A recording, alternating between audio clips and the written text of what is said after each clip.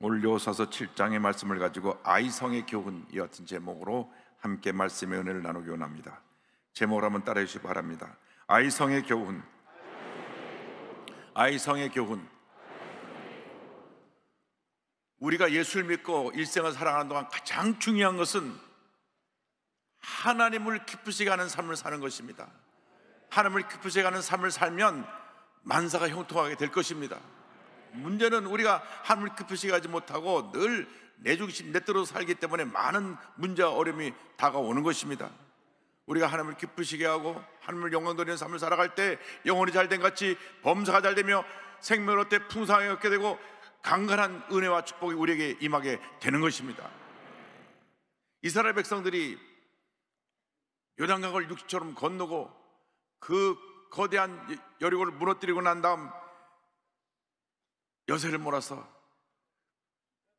아이성을 공격하게 됐습니다. 아이성은 여리고에서 북서쪽으로 약 16km 떨어져 있고 인구 12,000명 정도의 아주 작은 성입니다. 큰 성이고 견고한 성인 여리고를 무너뜨린 저들은 사기 충천하여 아, 이 같은 성쯤이야 하고 아이성을 우습게 보고 공격했다. 그만 참패를 당했습니다. 요사서 7장 4절 5절은 설명합니다. 백성 중 3천 명쯤 그리로 올라갔다가 아이 사람 앞에서 도망하니 아이 사람이 그들을 36명쯤 쳐 죽이고 성문 앞에서부터 스바린까지 쫓아가 내려가는 비탈에서 쳤으므로 백성의 마음이 녹아 물같이 된지라. 이스라엘 백성들이 충격적인 패배로 그냥 마음이 확 무너져 버렸습니다. 60만 장정을 가진 이스라엘이 12,000명밖에 없는 이 조그만 성에 3,000명만 올려보냈다가 참패를 당했습니다. 여리보다 훨씬 적은 성에서 이렇게 참패를 당한 원인이 어디 있습니까?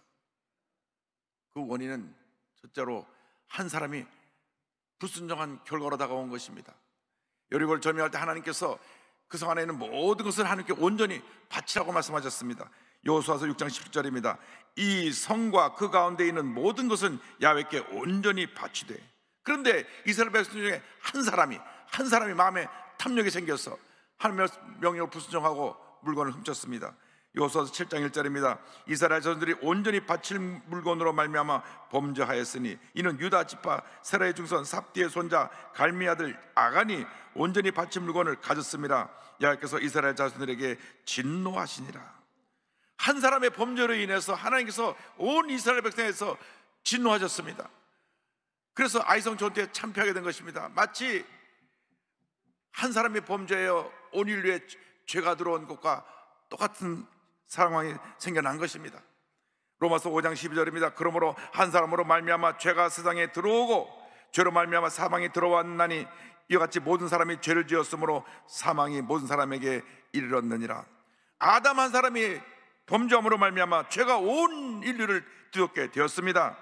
하나님 앞에서는 이렇게 한 사람 한 사람이 매우 존귀한 존재인 것입니다. 여러분 한 사람 한 사람이 보통 사람이 아니라 하나님이 정말로 귀하게 보시는 위대한 하나님의 사람인 것을 잊지 않게 되기를 바랍니다. 여러분 위대한 하나님의 사람들입니다. 그렇기 때문에 여러분 한 사람 한 사람이 저 바로 서서 바로 살아야 되는 것입니다. 그때 축복이 임하는 것입니다. 여러분 통해서 여러분 가정의 복을 받게 되고 여러분 직장의 복을 받게 되고 여러분 사업장의 복을 받게 되고 여러분 구의 복을 받게 되고 여러분 동네가 복을 받게 되고 대한민국이 복을 받게 되는 것입니다. 그렇게 한 사람이 중요한데 아간이 탐욕이 생겨서 하나님께 드려진 물건을 훔쳤습니다. 여호수아서 7장 21절은 설명합니다. 내가 노력한 물건 중에 신할산의 아름다운 외투 한 벌과 은 200세겔과 그 무게가 50세겔 되는 금덩이 하나를 보고 탐내어 가졌나이다. 벌써 이제 그 물건들을 내 장막 가운데 땅속에 감추었는데 은은 그 밑에 있나이다 하더라. 신할은 당시 최대 문명국가인 바벨로니아에서 만든 그러한 그 외투인데 요즘 말하면 명품입니다. 명품 옷을 보고 눈이 뒤집어져서 훔쳤습니다. 그리고 은 200세겔인데 은 200세겔은 2.3km 정도 되는데 2kg 정도 되는데 1kg이 어저께 인터넷 찾아보니까 한 110만 원 정도 돼요. 그런데 253만 원 정도 되고 금은 가치가 훨씬 나갑니다. 금은 50세겔인데 575g 금값이 많이 올라갔고 1g에 900만 원씩 돼가지고 약 5,175만 원 정도 되는 이 금을 훔쳐서 자기 장막 텐트 밑 땅에 파고 수- 숨겨 놓았습니다. 언제나 이 탐심이 문제인 것입니다. 탐심은 우상숭배라고 골로새 3장 5절은 말씀하고 있습니다. 그러므로 땅에 있는 지체를 죽이라 곧 음란과 부정과 사욕과 악한 종교가 탐심이니 탐심은 우상숭배니라. 그렇습니다. 우리가 하나님 앞에서 탐욕을 가질 때 그것이 바로 죄를 짓게 되는 것입니다. 우리에게 주신 축복을 주님의 은혜로 알고 그 축복을 가지고 주명을 해서 잘 사용하면 되는데 더 많은 것을 가지려고, 가지려고 하고 하나님 것을 심지어 훔친 이 탐욕 때문에 아간으로 말미암아 온 이스라엘 백성이 큰 어려움에 처하게 된 것입니다. 죄는 나뿐 아니라 내가 속한 나의 이웃들 공동체 전체를 고통 가운데 몰아가는 것입니다. 여호수아가 말합니다. 7장 25절에 내가 어찌하여 우리를 괴롭게 하였느냐? 내가 어찌하여 우리를 괴롭게 하였느냐? 너 한 사람 죄를 지었지만 너로 말미암아 온 이스라엘 백성이 고통을 당하게 되었으니 내가 그 같은 잘못한 것을 여호수아가 꾸짖고 지적했습니다. 아간 한 사람의 잘못으로 말미암아 36명이 죽고 3천 명이나 되는 군사가 참패해서 그들이 도망가게 되었고 온 이스라엘 백성의 마음이 녹아져 내렸습니다. 그래서 아간의 범죄로 말미암아, 말미암아 그와 그의 가족 그- 그 가족을 모두 아골골짜기로 끌고 가서 돌로 쳐 죽이고 그의 모든 재산은 다 불살라 버렸습니다. 하나님은 가나안 정복 시작부터 죄에 대해서 매우 엄격하셨습니다. 악은 초기에 끌어내야 됩니다. 죄는 중독성이 있기 때문에 처음부터 철저하게 대적하고 물리쳐야 되는 것입니다.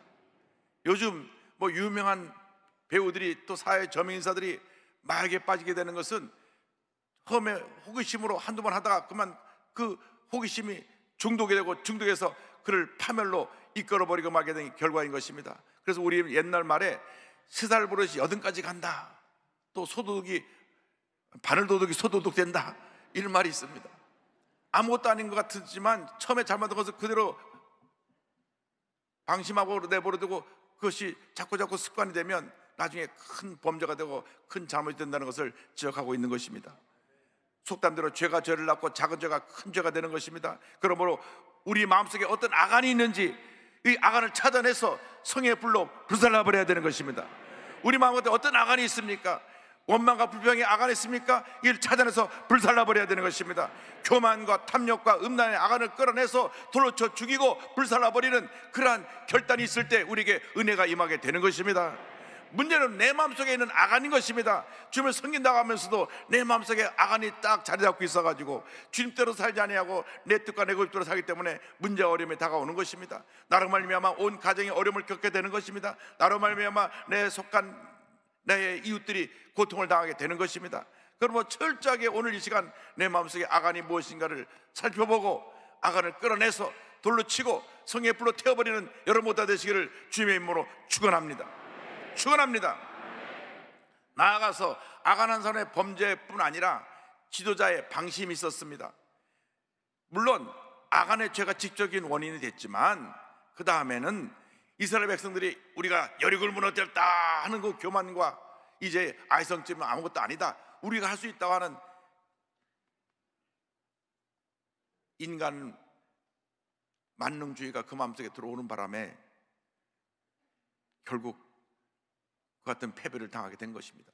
우리가 할 수 있다 하는 것은 참 위험한 부분이 있습니다. 주님의 은혜 가운데 우리가 모든 것을 할수 있는 것이지 내 힘으로 내가 모든 것을 할 수 있는 것이 아닙니다. 내게 능력 주시는 자 안에서 내가 모든 것을 할 수 있는 것입니다. 내 힘으로 할 때는 우리는 결국 패할 수밖에 없는 것입니다. 주님이 나를 도와주어야 은혜를 주어야 주님의 은혜로 주님의 능력으로 모든 일을 잘 감당할 수 있게 되는 것입니다. 지도자 여호수아가 방심했습니다. 여리고를 무너뜨릴 때는 하나님 앞에 엎드려 간절히 기도하고 하나님의 음성을 듣고 말씀에 순종해서 여리고를 여섯 동안 한, 한 바퀴 돌고 마지막 일곱 바퀴를 돈 다음 마지막 일곱 바퀴를 돈 다음 외쳐 무너뜨리는 이와 같은 하나님의 말씀에 철저히 순종하고 철저하게 그 말씀에 따라 여리고성을 무너뜨렸는데 아이성을 무너뜨릴 때는 하 이것쯤이야. 우리가 쉽게 무너뜨릴 수 있겠다 생각해서 하나님께 물어보지도 않고 정탁원을 보내왔고 정탁원이 와서 한 이야기를 듣고 그대로 그 이야기를 따랐습니다 7장 3절입니다 여호수아에게로 돌아와 그에게 이르되 백성을 다 올라가게 하지 말고 2, 3천 명만 올라가서 아이를 치게 하소서 그들은 수수이니 모든 백성을 그리로 보내어 수고롭게 하지 마소서 하므로 정당꾼들의 말을 듣고 그냥 3천 명만 보내 갖고 그 여리 아이성은 여리성과 비교할 수 없이 작고 조그만 성인이 얼른 성을 함락들이 무너뜨리고 오너라 명령을 했습니다. 하나님을 의지 않고 내가 할 수 있다 하는 그 순간부터 우리는 패배의 길을 가는 것입니다. 하나님 의지하지 않고 내가 할 수 있다는 그 생각이 이미 아이성의 전투에서 진 것입니다. 여러분 이상을 살아가는 동안 여러분 스스로 무엇을 했다고 생각하지 말고 모든 것이 하나님의 은혜라고 생각하는 여러분 되기를 바랍니다. 우리가 승리할 때, 부흥할 때, 은혜를 받을 때, 축복을 받아 누릴 때, 이때 방심하면 안 됩니다. 그때 더 엎드려 기도하고 하나님의 은혜에 감사하며 겸손해야 되는 것입니다. 잘 될 때, 문제가 없고 승승장구할 때, 높은 자리에 올라갈 때, 이럴 때 조심해야 되는 것입니다. 사업이 잘 되고 확장되어질 때, 모든 사람에게 박수갈태를 받을 때, 칭찬받을 때, 이때가 조심해야 될 때인 것입니다. 마귀의 작전은 무엇입니까? 우리가 정상에 올라갔을 때 가만 빈틈을 받다 공격해 오는 것입니다. 그래서 그런전서 10장 12절은 말씀합니다. 그런즉 선줄로 생각하는 자는 넘어질까 조심하라. 승리했을 때, 성공했을 때, 자녀가 잘 되고 사업이 잘 되고 범사가 잘 될 때 우리는 그때 더 엎드려 겸손히 기도해야 되는 것입니다. 주님, 우리는 아무것도 아닙니다. 모든 것이 주님의 은혜입니다. 이렇게 고백해야 되는 것입니다. 주님의 은혜가 아니고서는 우리는 아무것도 할 수 없는 연약하고 부족한 존재라는 것을 잊지 않게 되기를 바랍니다. 우리가 어떻게 살았습니까? 저주와 절망과 죄 가운데 살았습니다. 우리가 어떤 시절을 보내왔습니까? 우리가 6.25 전쟁 후에 60년대 그 보릿고개를 넘어가면서 처절한 가난 속에 저주받은 환경과 싸우며 살았습니다.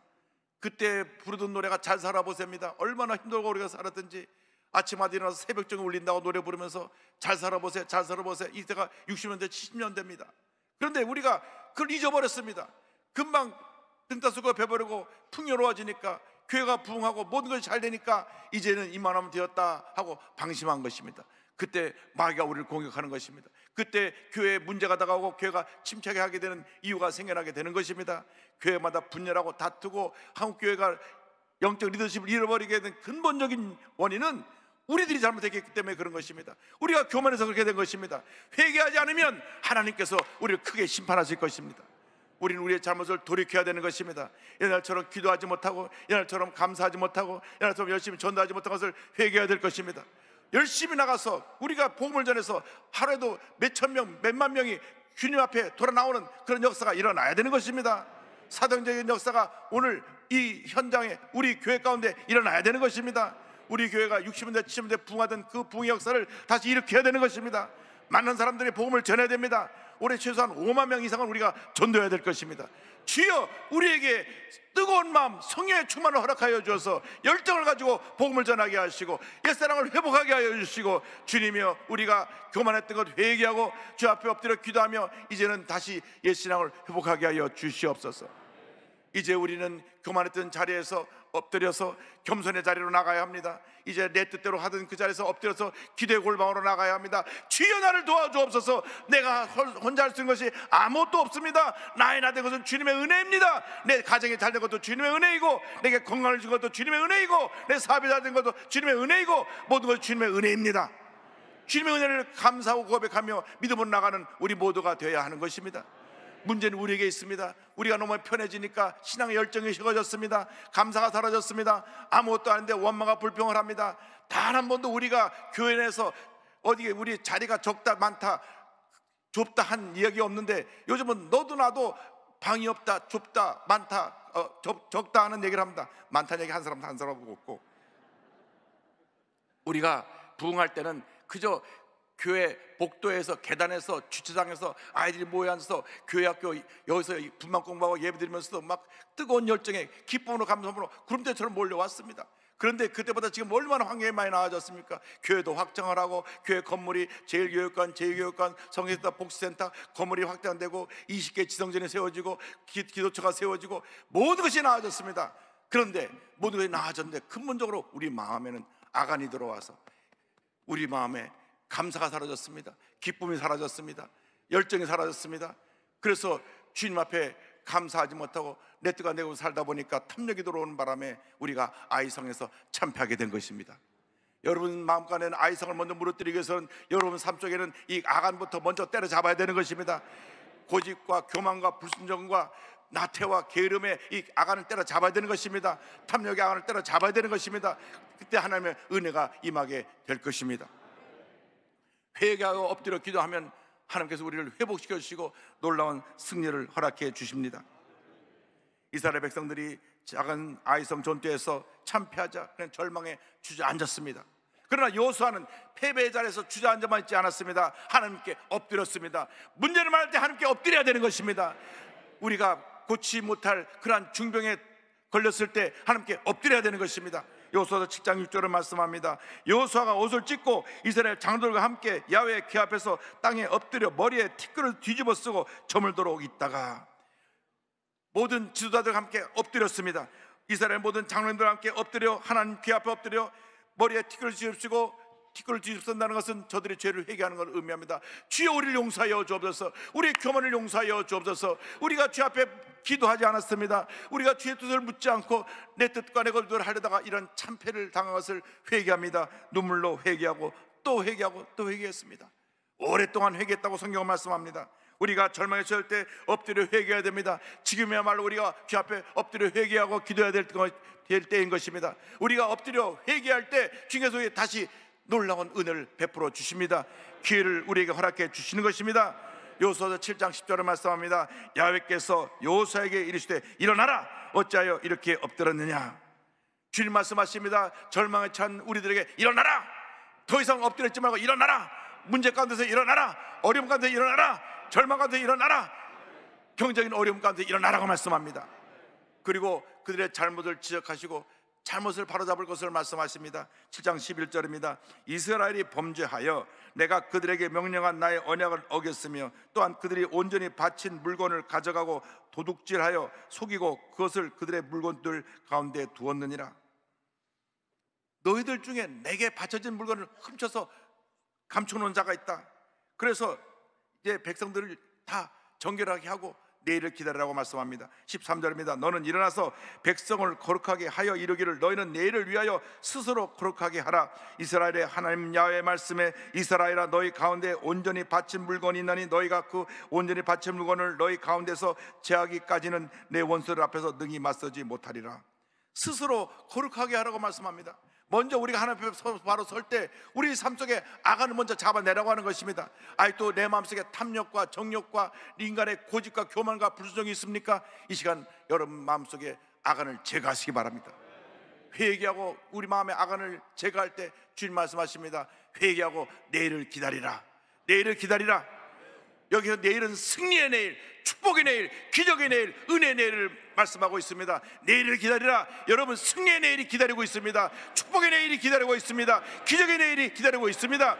오늘 회개하고 정결하게 되어서 바로 서기만 하면 주님 앞에 바로 서기만 하면 우리에게 위대한 내일이 다가올 것입니다. 위대한 내일이 다가옵니다. 기적의 내일이 다가옵니다. 복의 내일이 다가옵니다. 은혜 내일이 다가오는 것입니다. 건강의 내일이 다가오는 것입니다. 축복의 내일이 다가오는 것입니다. 여러분 오늘의 절망 가운데 머물러 있지 말고 일어나야 합니다. 아간을 제거해야 됩니다.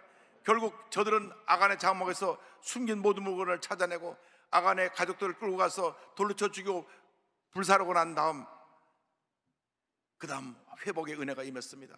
하나님 앞에서 이스라엘 백성이 회개하고 하나가 되었을 때 하나님께서 아이성을 점령하게 해 주셨습니다. 여호수아서 8장 1절 2절입니다. 야훼께서 여호수아에게 이르시되 두려워하지 말라 놀라지 말라 군사를 다 거느리고 일어나 아이로 올라가라 보라 내가 아이 왕과 그의 백성과 그의 성읍과 그의 땅을 다 내 손에 주었으니 너는 여리고와 그 왕에게서 행한 것 같이 아이와 그 왕에게 행하되 오직 거기서 탈취한 물건과 가축은 스스로 가지라 그래서 여호수아가 이때는 여리고성을 무너뜨리처럼 하나님의 음성을 듣고 하나님의 명령에 순종했습니다. 그런데 순종은 승리를 보장합니다. 축복을 보장합니다. 여리고통 때는 모든 걸 하나님께 바치라고 말씀하셨는데 이제 아이성을 무너뜨리고 난 다음 거기 있는 모든 것 너희들이 나눠 가지라고 말씀하셨습니다. 신앙생활이란 무엇입니까? 말씀에 순종하는 삶입니다. 순종할 때 축복이 임하는 것입니다. 기적이 임하는 것입니다. 은혜가 임하는 것입니다. 모든 문제는 우리가 이 말씀을 순종하지 않는 데서 다가오는 것입니다. 말씀대로 살지 않기 때문에 하나님의 깊으시 가는 삶을 살지 않기 때문에 하나님의 경험 돌린 삶을 살지 않기 때문에 우리 삶 속에 문제가 다가오는 것입니다. 결국 주님 뜻대로 살지 않는 것이 아간입니다. 내 마음속에 주님 뜻대로 살지 않는 아간이 있기 때문에 고집과 교만과 불순종이 있기 때문에 나 나 나 하는 이기주의가 있기 때문에 그 아간을 잡지 않으면 우리는 하나님의 축복을 받을 수가 없습니다. 우리가 주일날 거룩거룩 성경책을 들고 온다는 것으로 신앙생활을 하는 것이 아닙니다. 주님 앞에 바로 서야 되는 것입니다. 아간을 잡아내야 되는 것입니다. 그리고 나서 말씀에 수정할 때 하나님의 복이 임합니다. 하나님께서 요호수아에게 치밀한 작전 계획을 짜도록 명령하셨습니다. 3만 명의 군사를 거느리고 아이성 뒤편에 올라서 매복시킨 다음 그 다음 아이성의 군사를 유인해내서 그들고 그들을 쳐서 결국 아이성을 함락합니다. 아이성이 아무리 작은 성이라고 할지라도 최선을 다해서 하나님의 말씀 가지고 순종했을 때 아이성을 무너뜨리고 승리가 저들에게 임하게 된 것입니다. 우리가 축복받는 비결이 바로 여기 있습니다. 아무리 작은 일이라고 할지라도 주님의 뜻을 따라야 되는 것입니다. 주의 뜻에 귀를 기울여, 기울이고 음성에 귀- 그 귀를 기울이고 그 뜻을 따를 때 하나님의 은혜가 임하는 것입니다. 아이성을 무너뜨릴 때도 만 이천 명밖에 없는 아이성이지만 3만 명 군사를 매복하고 그리고 저들 유인해서 전쟁을 하고 나서 그들을 점령한 것처럼 우리가 우리 앞에 어떤 작은 일이 어떤 큰 일이 다가온다고 할지라도 엎드려 기도하고 주의 뜻을 따라서 하나님의 뜻대로 모든 문제를 물리치고 승리하는 여러분 모두 되기를 주의 이름으로 축원합니다. 하나님 백성들은 때때로 이렇게 하나님 뜻을 어긴 삶을 살아가기도 합니다. 그러나 하나님께서는 그의 백성들이 회개가 돌아올 때 다시 회복의 은혜를 주십니다. 다시 두 번째 기회를 허락해 주시는 것입니다. 다시 일어나 더 큰 승리를 우리에게 선물로 주시는 하나님이신 것을 잊지 않게 되기를 바랍니다. 실패란 새로운 시작에 불과한 것입니다. 성공은 실패를 딛고 일어난 사람들에게 주어지는 선물인 것입니다. 성공한 사람들의 대부분은 실패를 실패로 여기지 아니하고 자신을 다시 돌아보고 또 도전하고 또 도전하고 또 도전하여 성공에 이르게 됩니다. 성공은 실패하지 않은 사람이 거두는 것이 아니라 실패를 극복한 사람이 거두는 것이 성공이라는 것을 잊지 않게 되기를 바랍니다. 여호수아는 아이성 전투에서 분명히 패배했습니다. 그러나 다시 패배를 딛고 일어나서 아이성을 점령해 아이성을 완전히 함락하게 되었던 것입니다. 세계적인 위대한 복음 전자 빌리그레암 목사님이 있습니다. 그 빌리그레암 목사님의 사역을 이어받은 아들 프랭클린 그레암 목사님이 계십니다. 프랭클린 그레암 목사님은 아버지가 워낙 세계적인 유명한 붕사시니까 많은 사람마다 너 나중에 커서 훌륭한 목사가 되라, 훌륭한 목사 되라 그런 말을 듣고 자, 자랐습니다. 근데 이제 그 말에 거부감이 생겼습니다. 그래서 아주 본인이 너무나 그런 말을 귀에 들으니까 반항심이 생겨서 사춘기 때 벌써 삐뚤어나기 시작했습니다. 그 책을 읽어보니까 중학교 2학년 때부터 벌써 담배를 피기 시작하고 또 학교 다닐 때 여자아이를 괴롭히는 흑인을 두들겨 패가지고 정학을 당하기도 하고 대학을 다니다가 기독교적인 가치관대로 살지 않는다 그래서 퇴학을 당했습니다. 그러니까 그 유명한 목사님의 아들이 학교에서 담배도 피고 정학도 당하고 퇴학당하고 정말 남들에게 비난받을 짓은 다 본인이 했습니다. 스무 살이 됐을 때 아버지가 생일날 나와 함께 좀 산책을 하자고 데리고 나가시더니만 너 오늘 결정해라. 예수님을 선택하든지 아니면 거부하든지 둘 중에 하나 선택해라. 아버지의 말을 듣고 정지 퍼뜩 났습니다. 제가 스무 살까지 어떤 삶을 살았는가? 그래서 방으로 들어와 성경을 읽는데 요한복음 3장에 예수님께서 니모데임에 하신 너는 다시 태어나 태어나야 한다는 말씀이 마음에 탁 부딪혀 왔습니다. 자신이 거듭나지 않은 것을 깨닫게 되었습니다. 하나님께서 회개형을 보여주셨습니다. 지금까지 방탕한 삶의 모습이 그것이 주마다 쫙 지나가면서 주 앞에 눈물 쏟으며 주 앞에 회개했습니다. 그때 이와 같은 기도를 합니다. 그날부터 내 삶을 하나님을 위해 살고 싶었다. 하나님께 나를 용서해달라고 나를 깨끗게 해달라고 간청했고 예수님을 내 삶에 들어와 달라고 믿음으로 초대했다. 그러니 이렇게 고백합니다. 그래서 그가 그날 회개하고 완전히 거듭났습니다. 그는 그 전까지만 해도 아간과 같은 삶을 살았습니다. 세상의 탐욕을 가지고 담배도 피고 폭력도 행사하고 학교도 퇴학당했지만은 그날 완전히 회복되었습니다. 실패 연속, 연속이었지만 실패로 끝난 것이 아니라 다시 거듭났습니다. 다시 일어났습니다. 다시 게 새로운 내일이 주어지게 된 것입니다. 그래서 열심히 아버님과 같이 그 사역을 하, 뒤를 이어 사역하면서 사마리탄 버스라고 하는 전 세계 170개, 70개국의 이 구제 사역을 펼치는 그러한 엔조를 운영하고 있고 또 빌리그람 전단의 대표로서 열심히 헌신하고 있습니다. 전 세계를 다니며 복음을 전합니다. 올해 빌리그람 여의도 50주년 기념 대회를 인도하러 6월 달에 한국에 옵니다. 이렇게 반응하러 아간처럼 탕자처럼 살았지만 회개해서 거듭나 위대한 하나님의 사람으로 주의 종으로 쓰임 받고 있는 것입니다. 그가 아버지처럼 처음 전도 집회 설교자로 자기가 서게 될 때 이런 기도를 들었던 기도를 기억합니다. 주님이 저에게 생명을 주셨습니다. 주님이 보시기에 제가 주님의 것이라면 주님은 저와 함께 하실 수 있습니다. 그러나 이것만은 약속드리겠습니다. 주님이 제게 숨을 풀어 넣어 주시는 한, 호흡이 살아있는 한 복음을 전하는 일을 그만두지 않겠습니다. 할렐루야. 실패를 잊고 다시 일어나시기 바랍니다. 믿음으로 일어나시기 바랍니다. 아간을 제거하고 믿음으로 전쟁에 나갈 때 하나님의 놀라운 은혜가 임하게 될 것입니다. 주여 우리에게 오늘 회개형을 부어 주셔서 우리 마음 가운데는 아간을 제거하게 하여 주옵시고 우리에게 예배된 위대한 내일을 바라보며 다시 일어나는 믿음의 사람들이 다 되게 하여 주옵소서. 여러분, 여러분이 변화되기만 하면 여러분 한 사람 한 사람은 위대한 하나님 사람으로 이전에 보지 못했던 놀라운 일을 체험하며 살아갈 수 있는 은혜가 임하게 될 것입니다. 여러분 위대한 하나님의 사람들입니다. 보통 사람이 아닙니다. 지금까지 우리가 어떻게 살았다고 할지라도 그것이 문제가 아닙니다. 이제 우리에게 내일이 기다리고 있습니다. 위대한 내일이, 축복의 내일이, 기적의 내일이, 승리의 내일이, 은혜의 내일이 기다리고 있는 것입니다. 여러분 내일을 바라보며 믿음으로 나가는 여러분 모두가 되시기를 주님으로 축원합니다. 축원합니다. 축원합니다.